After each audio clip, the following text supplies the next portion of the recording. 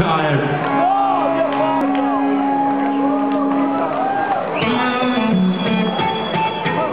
Alright, we got some more. Another cover version from the very first Thrasher in the world called Jimi Hendrix. But this next song is